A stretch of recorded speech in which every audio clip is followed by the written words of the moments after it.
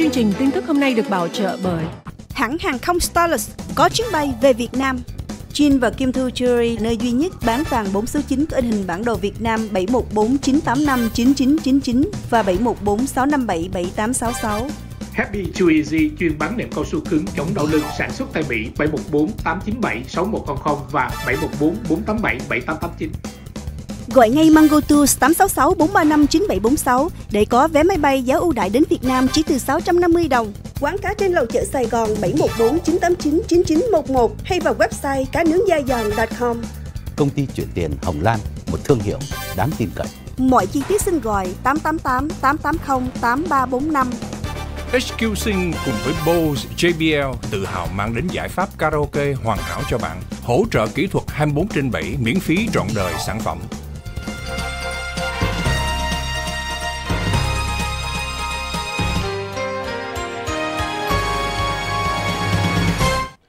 Chúng tôi đang gửi đến quý vị một bản tin à, rất là quan trọng và một tin buồn đối với ông Trump bởi vì ông đã từng kháng cáo à, từ tòa bên ờ, liên bang ở tại Washington à, việc mà ông can thiệp bầu cử và xem đó là hành vi tội phạm hình sự theo lệnh truy tố ở tại Washington mà trong đó ông Jack Smith à, để bạt nhiều tội danh, trong đó ít nhất là bốn tội. Đây là tội hình sự, thưa quý vị. Và phán quyết của tòa phúc thẩm tòa kháng án ngày hôm nay nói rằng, mặc dù thời điểm đó ông là tổng thống trong tòa bạch ốc, nhưng mà đã có những hành vi sai trái và tội phạm liên quan đến vấn đề chuyển tiếp bầu cử êm thấm, chống lại thiện nguyện, ý nguyện của người dân, chọn ông Biden chứ không phải chọn ông. Và ông tìm cách, bằng mọi cách, để nắm giữ quyền lực bên trong tòa bạch ốc thì đó không có thoát khỏi cái lệnh truy tố của tòa và kể cả Bộ Tư pháp nữa. Ông Trump nói rằng không, tôi lúc đó là tổng thống, những cái quyết định của tôi là hoàn toàn được quyền miễn tố. Cái vấn đề nó lớn hơn thưa quý vị bởi vì tòa tối cao pháp viện đã không thụ lý hồ sơ kiện của ông Jack Smith từ 2023. Ông Jack Smith là muốn thúc nhanh cái tiến trình truy tố ông Trump trên tất cả những cái lệnh truy tố khác mà ông Trump bị quá nhiều luôn, ít nhất là cả chín mươi mấy tội hình sự đó. Thì ông Jack Smith muốn đẩy cái vấn đề quan trọng hơn, cao nhất ở tại Washington và vì thế đã đưa hồ sơ lên tòa tối cao pháp viện và yêu cầu tòa xử ngay. Thì vào thời điểm đó tòa nói no, cái vụ này vẫn còn đang lùm xùm ở bên dưới tòa liên bang, chúng tôi chưa thể à, thụ lý được. Chờ tòa kháng án luôn. Thì ngày hôm nay tòa kháng án đã gửi một thông điệp tòa tối cao pháp Việt nói rằng phải chờ tòa kháng án bởi vì cái việc này nó xảy ra ở tại thủ đô Washington trong cái ngày 6 tháng 1. Và những cái việc trước đó mà ông Trump tìm cách gian lận bầu cử gọi tới tiểu bang Georgia hoặc là ngăn chặn cái tiến trình mà ông phó của mình chứng nhận kết quả bầu cử vào thời điểm đang diễn biến bên trong tòa nhà quốc hội thời điểm đó. Thì tòa tối cao pháp Việt nói không, à, chúng tôi không có thụ lý này cho đến khi tòa kháng án. Thì bây giờ vấn đề chính hiện nay đó là ông Trump, luật sư ông Trump sẽ tiếp tục kháng án lên tòa tối cao. Thế nhưng câu hỏi đặt ra đó là liệu tòa tối cao pháp Việt có đồng ý thụ lý hay không? Hay tòa tối cao pháp Việt nói rằng không, đó là phán quyết chung cuộc rồi. À, và họ đồng ý, họ chỉ nói họ đồng ý cho tiến trình tố tụng của Bộ Tư pháp, tức là từ công tố viên đặc biệt Jack Smith được tiếp tục. Bởi vì nếu chỉ cần tòa kháng án mà nói rằng ô, ông Trump được quyền miễn tố là xem như toàn bộ các hồ sơ nhắm vào ông Trump tìm cách can thiệp vào bầu cử, tức là gian lận vân vân đó, là dẹp hết.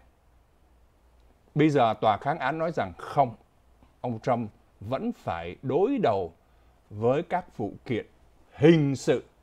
Tức là nếu ông Trump có tội, thì ông Trump sẽ phải vào tù.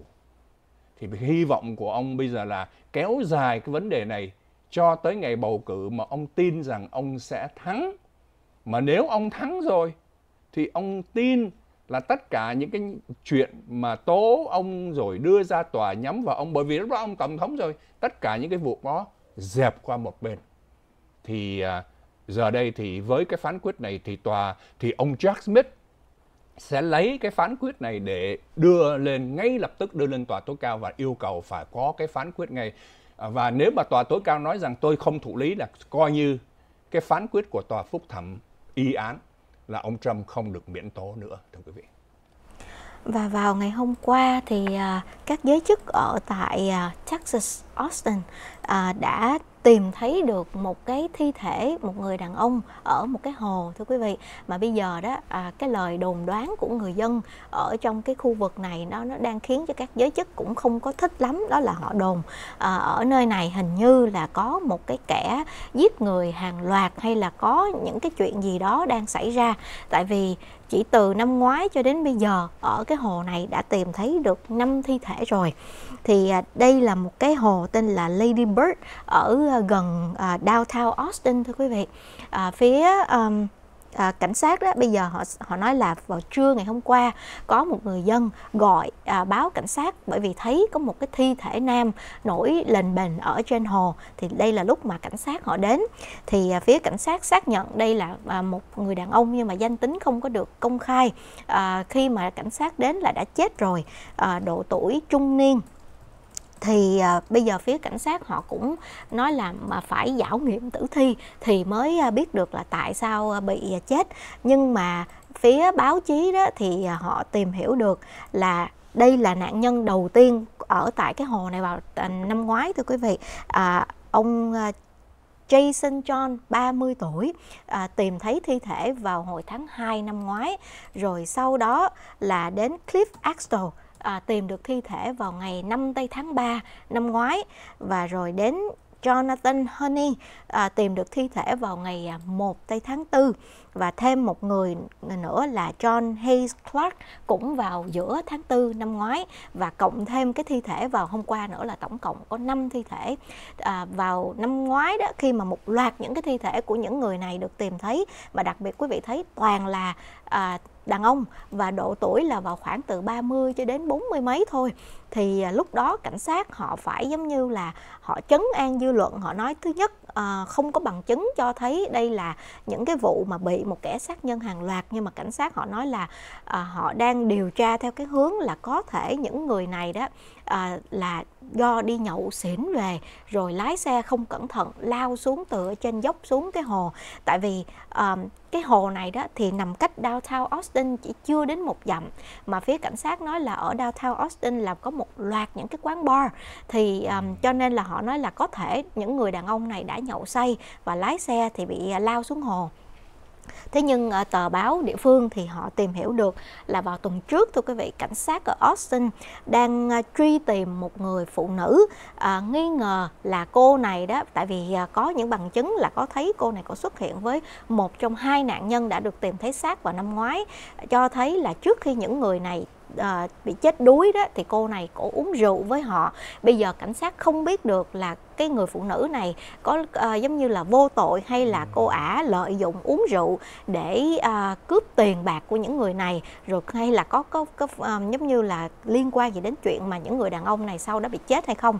À, thì phía tờ báo à, địa phương họ tìm hiểu được như vậy. Nhưng mà cảnh sát họ nói là họ từ chối cung cấp thêm chi tiết về cái à, người nữ nghi phạm này tại sao uống rượu thì người ta lên xe người ta về gọi Uber tới bạn bè đưa về tại sao đi bộ ra đây để chết vâng. thì bây giờ nhiều người quá thì bây giờ người ta nghi ngờ là có hệ ai đó đã theo những cái tên những người này rồi cướp hay là nhiều cái vấn đề khác nữa.